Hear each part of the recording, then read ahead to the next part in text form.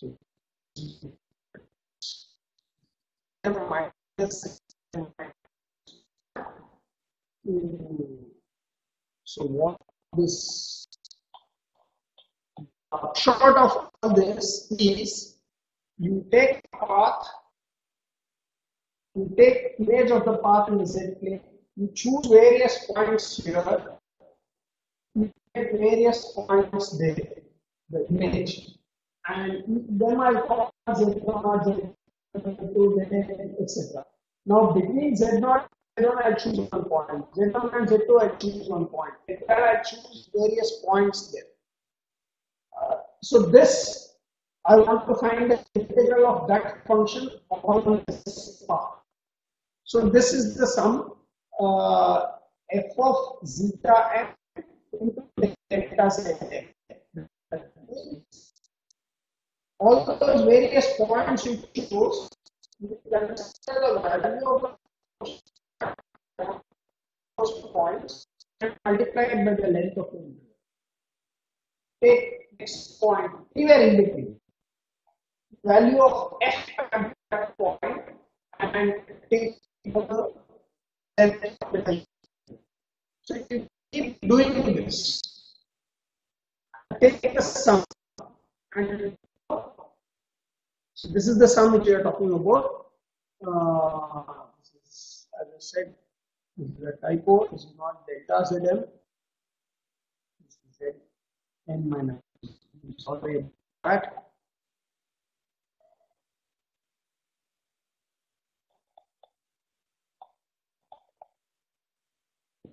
So this is the sum which we are considering.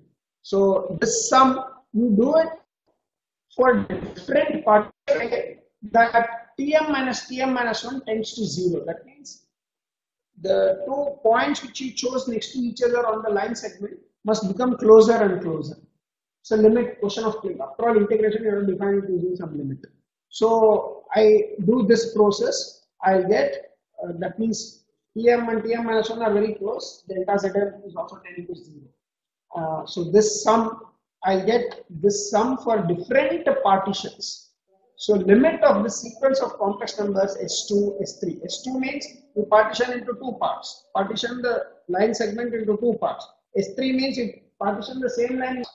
S4 means partition the same line into four parts. You partition into four parts, take a point in each of the interval, find its value here and find the value of the function which you want to integrate at the image of these points and multiply it by the interval. That is what we have done here. Uh, I know it's a bit, you know, it's like a big wall, but you have to go through this. So this limit of the sequence of these numbers is defined to be the line integral of offset over the oriented curve C. Oriented here because uh, again here I will not spend too much time on this. Oriented means it starts somewhere and ends somewhere and you always go in one particular direction. That's all you will understand by orientation. Right now for this course that much is so this limit of the sequence of complex numbers is defined to be line integral.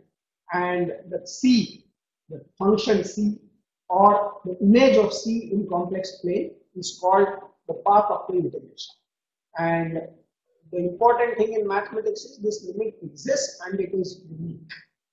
Uh, one can prove this, but it's not part of this course, so I won't bother about it. Perhaps if definition is not very, see I'll try to explain this definition. What it is saying is I have z plane and I have a function defined on this z plane. Here I take a path.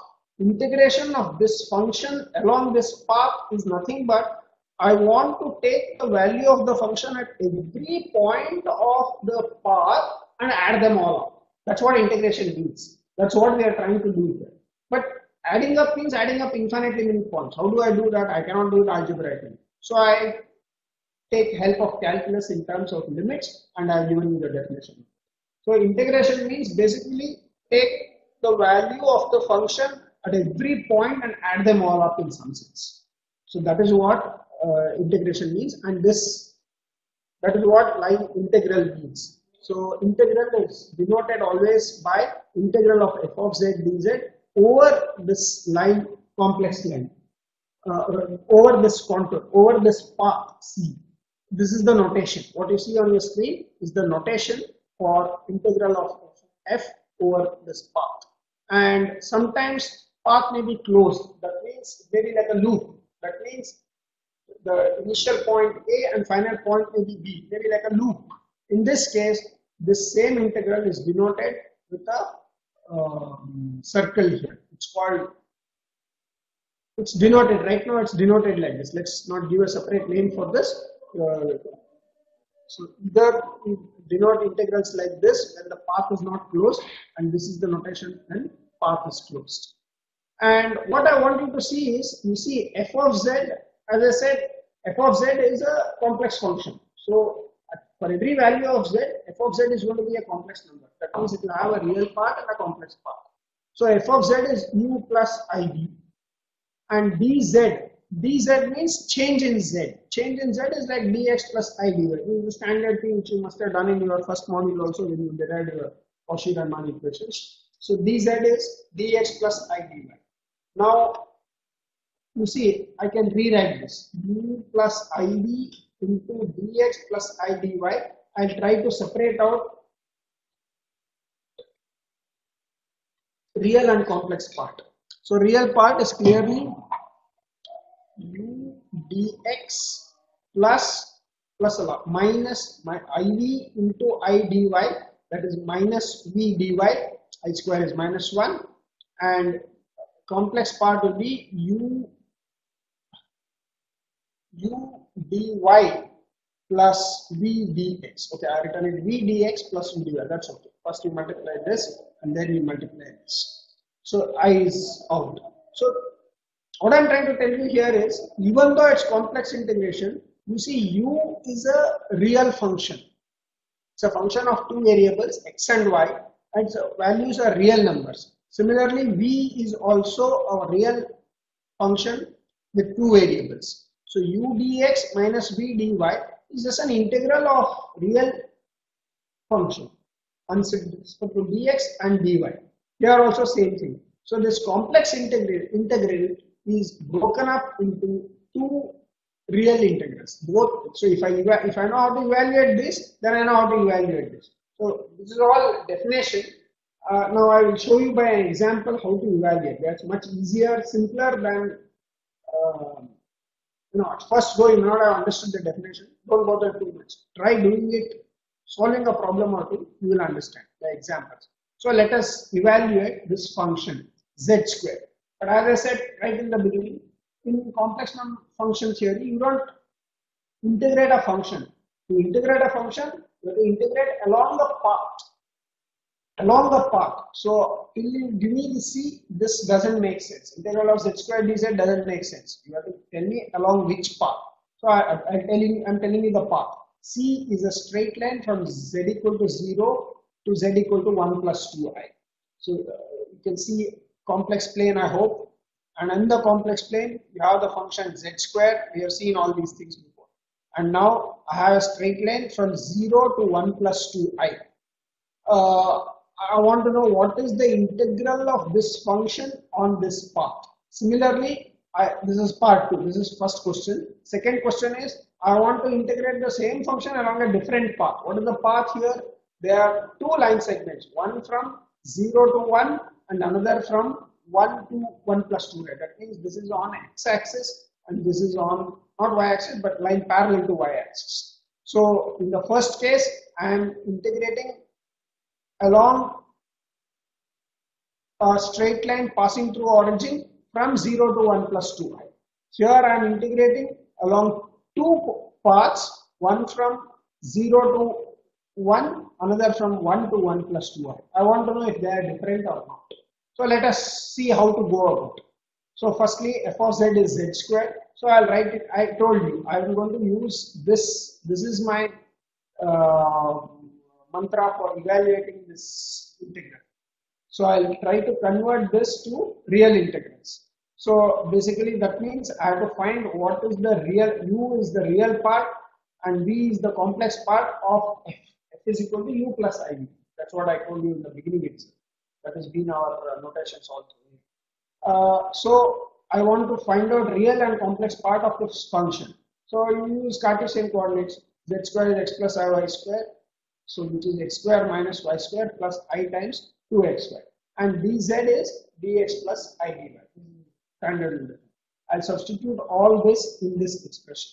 So integral of z square dz is nothing but x plus i whole square. dz is dx plus i dy.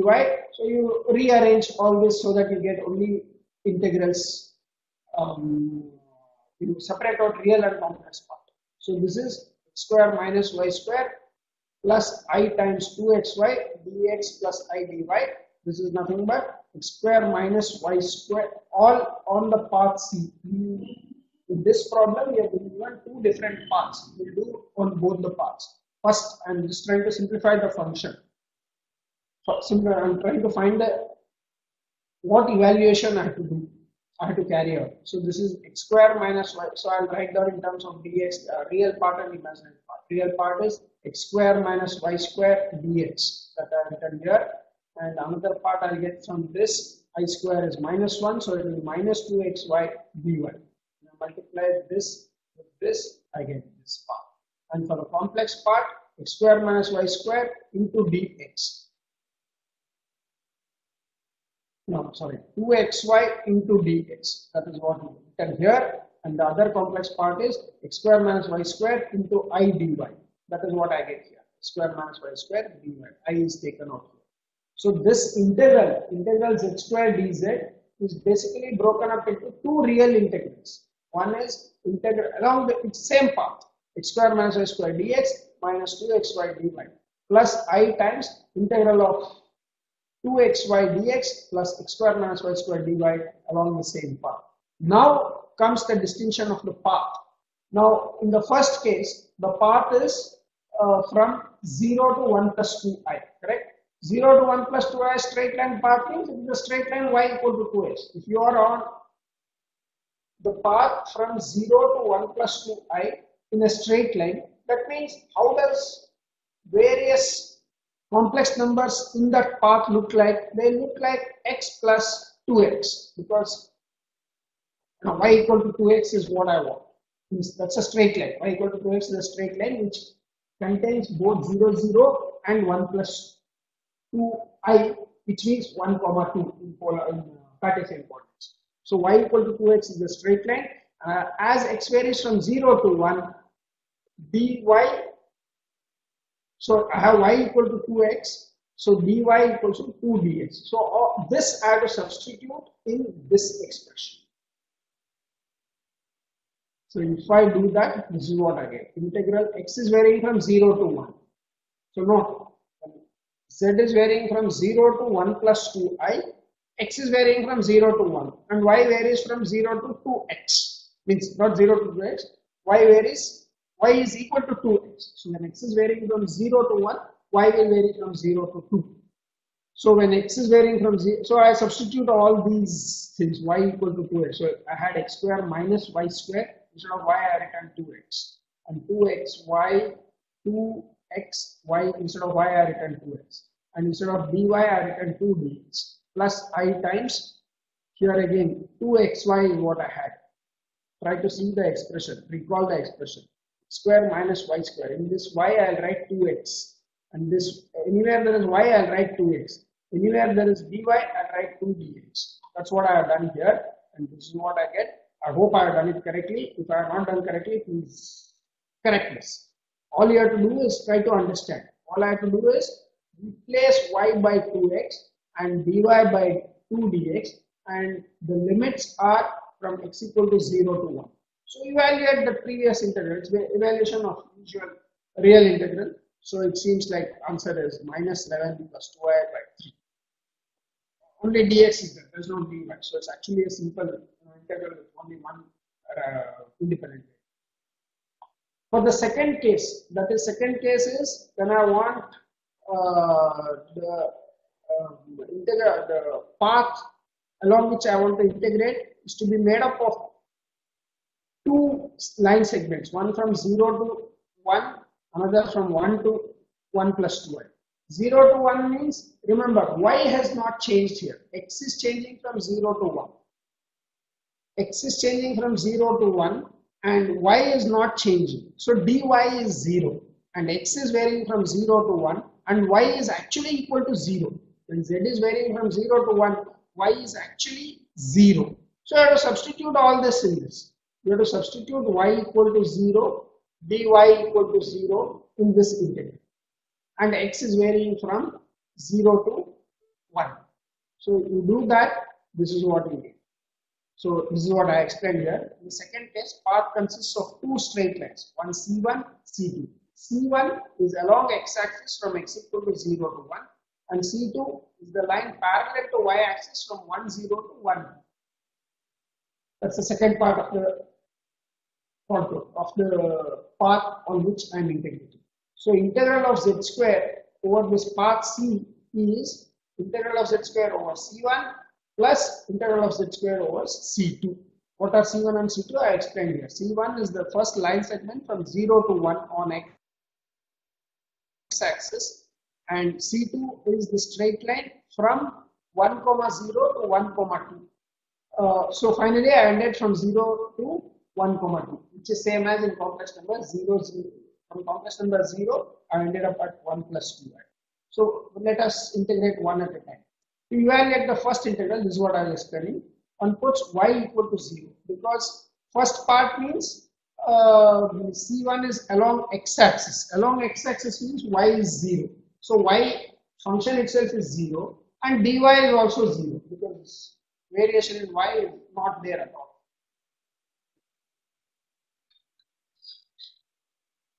This means, so I substitute y equal to 0 and dy equal to 0 and x is varying from 0 to 1. So I put all these limits here. z square I know z square minus y square dx minus 2xy dy. So this plus i times 2xy dx plus x square minus y square dy. This is what I derived just from the uh, raw definition of z square. And here I am substituting the limits which I want for this case. That is x is varying from 0 to 1, y is 0 and dy is also 0 so these terms go away. This term is 0, this term is 0, and since y is 0, this is also 0, and this is also 0, so it's only a purely real number. Integrate x square dx between 0 and 1. That is nothing but 1 by 3. So the first integral on the first part, on the first part of the path, the integral is 1 by 3. Similarly for second integral, second integral, see what happens. X is 1 fixed because second path you remember what is second path? Second path is line parallel to y-axis from 1 0 to 1 comma 2 that means here you see x is fixed. X is equal to 1 and y is varying from 0 to 2 x is fixed so dx is 0 dy y is changing from 0 to 2 so we will use that. So here y x is 1 so you put x equal to 1 it's a constant function now. And dx is 0 so this actually doesn't matter. This whole thing goes away. And in this dy is there but x is 1 so 2 into 1 into y plus dx is 0 so this term will go away. This term is x is 1 so 1 minus 1 square minus y square which is same as 1 minus y square. So uh, if you evaluate this this is the usual real integral you do I will not spend time on this, but anyway, I written it down. I hope it is correct.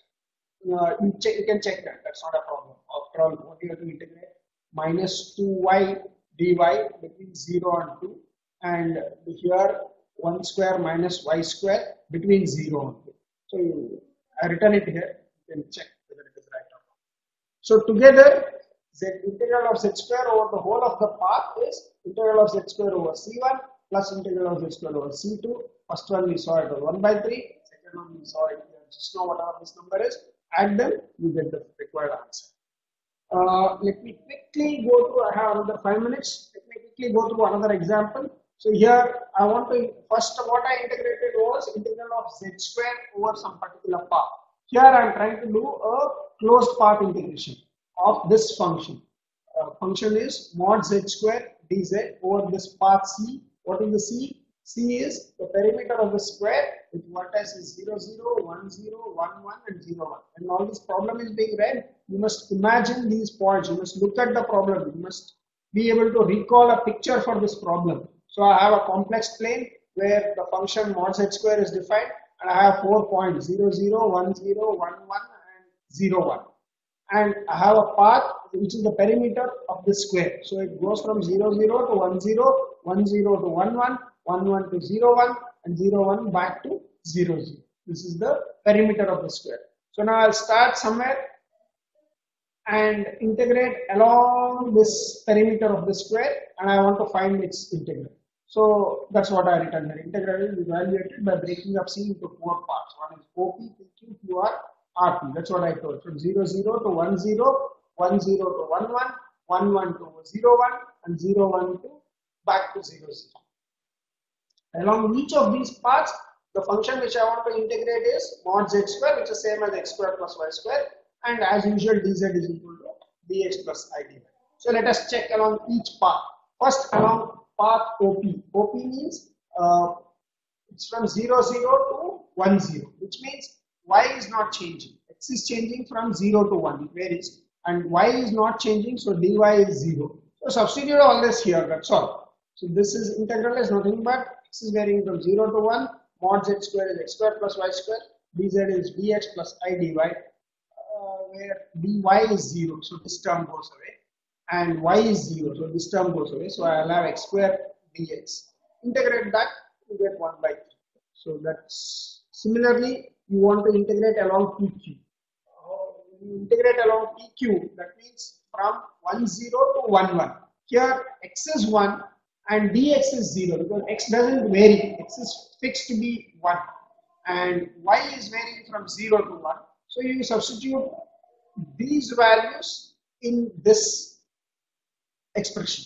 So x is 1 and y is varying from 0 to 1 and dx is 0. So you get a purely complex number because here dx is 0. So i times dy. You take i and integrate this with respect to y. You get 4 by 3. Uh, elementary integration which I don't think I have made a mistake but please check. And QR along QR means I want to go from 1 1 to uh, 0 1. So if I want to go from 1 1 to 0 1, understand y varies, x varies from 1 to 0 and y is constant. I'm on the top part of the square. So there x is varying from 1 to 0, not 0 to 1. Remember, because my point where I start is 1 1, where x is 1 and finally I end up with 0 comma 1, which means x is 0 finally uh, and y is not varying at all, which means dy is 0. So substitute all and y equal to 1 because I am on that part, on the top part of the square. So you substitute all these things in this expression, you get some purely real number.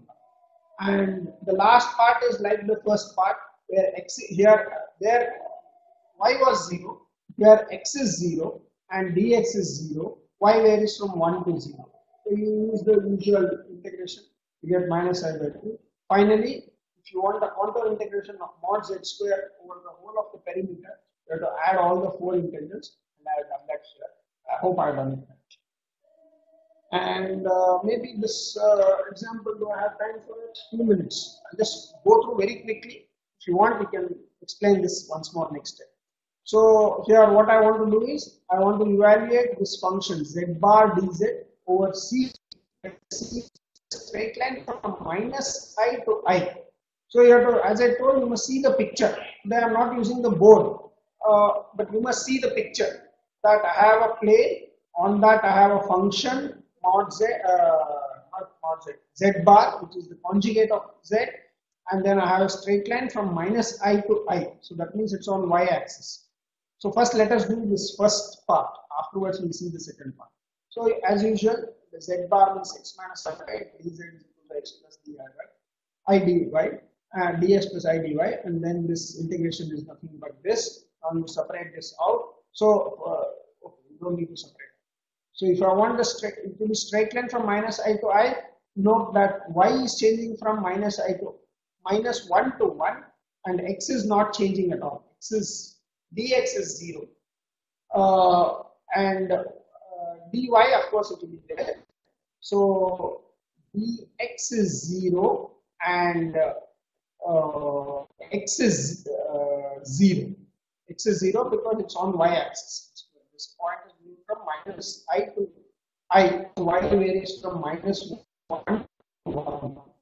So on this uh, here, on a straight line from minus i to i, x is zero, dx is zero, and y varies from one.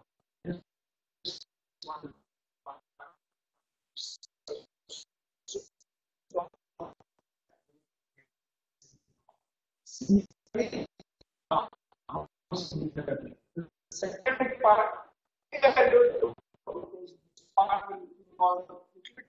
more calculation